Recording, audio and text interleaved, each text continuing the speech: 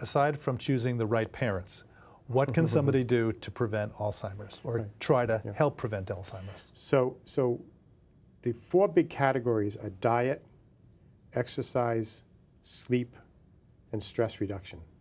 And I, I, wrote about this in detail in my last book, Super Genes. There's about six chapters of details, more than you want to know, about how to adapt your diet to minimize inflammation and plaques. Meaning Mediterranean diet, probiotics take care of your gut bacteria. Which probiotics? Uh, yogurt, uh, a yogurt drink like kefir, or a probiotic uh, pill with live bacteria in it. But there's so many different ones. There, there's, there's, a million different types. It's like saying take antibiotics. Well, which ones? Yeah. So that this do we know a, yet? We don't know. It's yet. a hot area right now. There are companies that are looking at what are the best bacteria to put in a probiotic. And why, why would that affect? Why why would what's going on in your gut affect what's going on in your brain? So it turns out there's what's called a gut-brain axis, right. where the bacteria in your gut are creating chemicals that interact with your brain that do everything from determine your mood to control how much inflammation there is in your brain. And even obesity, right? It's amazing what we're learning yes. about these trillions of bacteria that, that people were saying, oh, wash them out, right? I'm going right. to get a cleanse. Yeah, they can't, they're icky. Idea.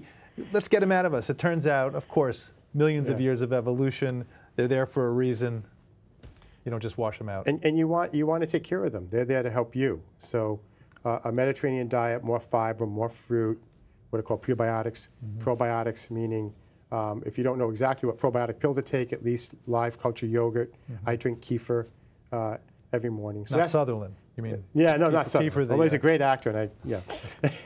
um, and, and, and, then after diet, exercise. You know, and very simply, at least an hour-long brisk walk, or try to get eight to ten thousand steps if you're using a a device, uh, and sleep.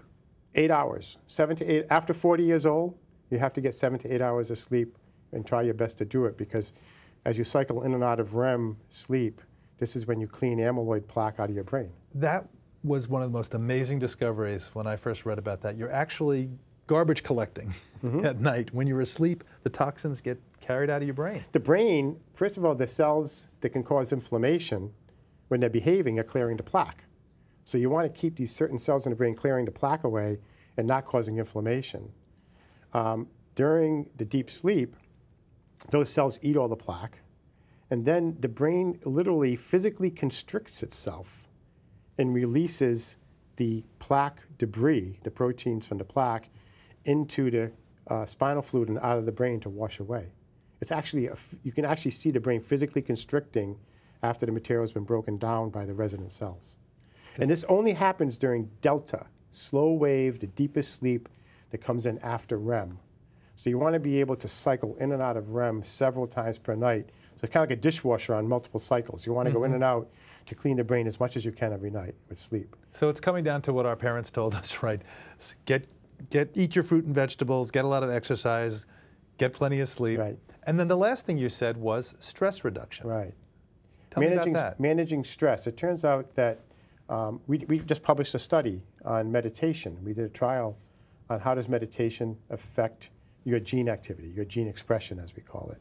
We did it with folks at Mount Sinai in New York.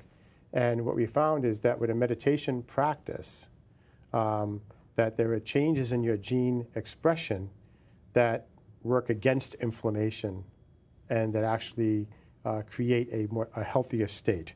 Um, we also see changes in genes that affect the amount of amyloid in your brain during a full one week uh, intensive meditation course. So we have meditation instructors, we have novice meditators who are learning, and our control group were people at the same resort who were just hanging out having fun but not learning how to meditate. And there were significant differences in terms of very beneficial gene expression changes in those who are meditating.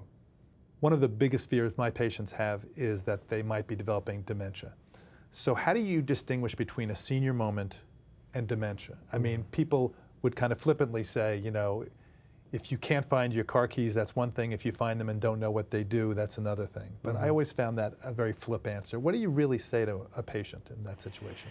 Look, the fact is, as we get older, um, we don't recall names as well.